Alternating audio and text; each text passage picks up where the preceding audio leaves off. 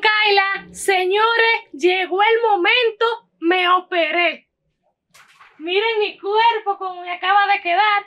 Yo veía que todo el mundo en las redes sociales estaba operando. Yo dije, yo tengo que operarme también. La grabató se operó. Yo también me voy a operar. Y adivinen, miren el cuerpo que me hicieron.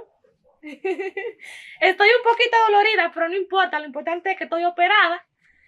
Y nada, aquí estoy descansando en mi cuarto. Me voy a contar un poquito porque ustedes saben que cuando uno se opera, uno queda adolorido. Y no es fácil realmente. Pero quise compartirlo con ustedes porque estoy muy emocionada. Bastante emocionada. Muy feliz porque eso era lo que yo quería. Yo quería operarme, hacerme mi cuerpo así bonito para sentirme cómoda conmigo misma. Y sí lo logré. Aquí estoy operada.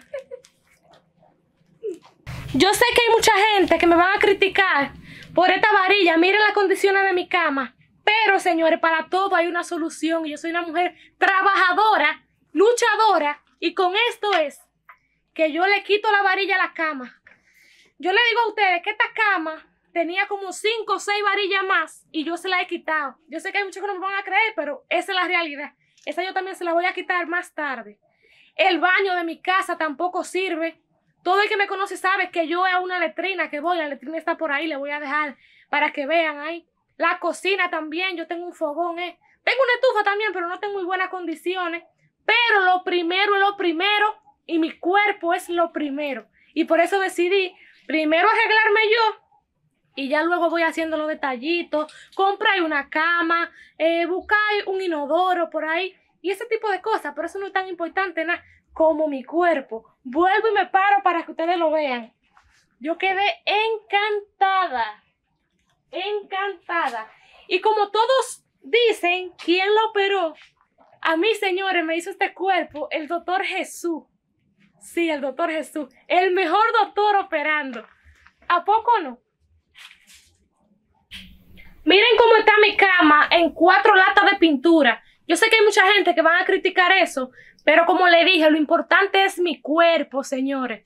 Yo no le he dicho esto ni siquiera a mi madre, porque yo sabía que ella me iba a decir que no, que no me operara, que mejor lo gastara en una cama. Pero no, como yo no soy loca, yo soy una persona inteligente, yo no iba a decir completar mi operación. Adivinen cuánto cuesta una cama buena. 30 mil, 40 mil pesos. Y la operación, ¿cuánto, cuánto me costó? 500 mil. Que todavía le debo uno, un chelito ahí al banco y a mí me gustaría que ustedes me ayuden con eso. Como somos muchos seguidores, yo sé que ustedes me van a apoyar. Yo pronto le voy a dejar ahí para que me depositen y me ayuden a pagarlo. Era que yo quería mi cuerpo, señores. Ustedes deben de entenderme y deben de apoyarme porque imagínense ustedes.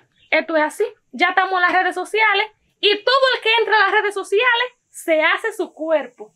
¿Verdad que sí?